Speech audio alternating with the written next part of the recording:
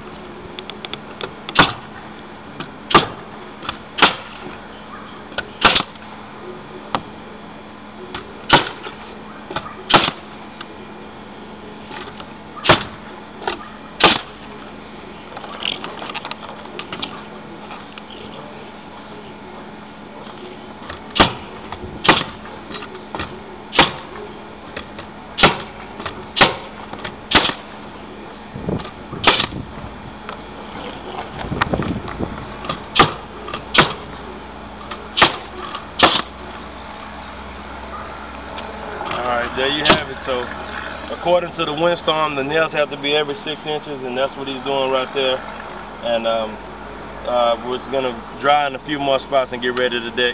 Stay tuned, and we'll give you another update briefly.